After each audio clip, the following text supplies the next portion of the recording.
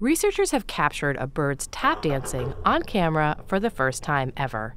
Recorded at 300 frames per second, a blue capped cordon bleu male dances to grab the attention of a female perched nearby. With a piece of nesting material in his beak, he sings and bobs. And while he bobs, he stomps, making non vocal sounds to accompany his song. This tap dancing is invisible to the naked human eye and is performed by both males and females.